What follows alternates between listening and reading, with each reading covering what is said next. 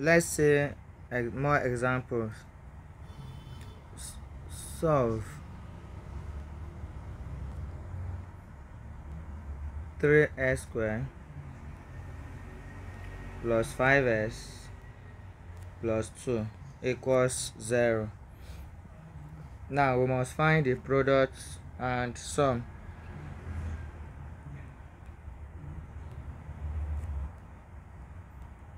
so to get the product you are multiplying the first by the last.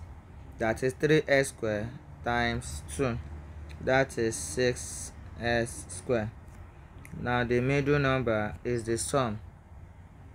So the sum is 5s now what are the two numbers that if you multiply you will get the product? If you add you will get the sum. Now take 6 the products write it 6 then start with 1 1 times 6 because 1 times any number is the number. 2 be listing out these numbers like 1 2 3 so anyone that will give you the product so 1 times 6 2 times 3 because 6 divided by 2 is 3 3 also can go 3 times 2 then if you have 4 4 times what will give you 6 is not possible. So that means you stop at 3 so now all the product that can give you 6 is this but which one will give you 5 1 plus 6 is 7 2 plus 3 is 5 3 plus 2 is 5 so you can use any one out of these numbers.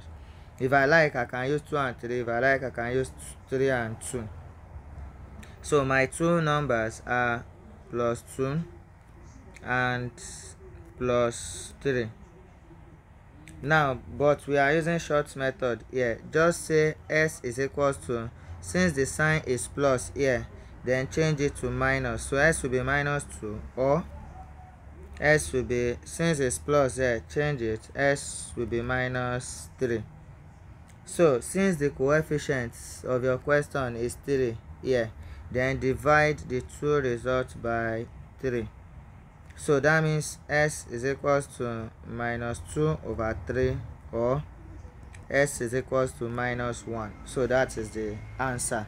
Remember we are doing this because of jam objective exam.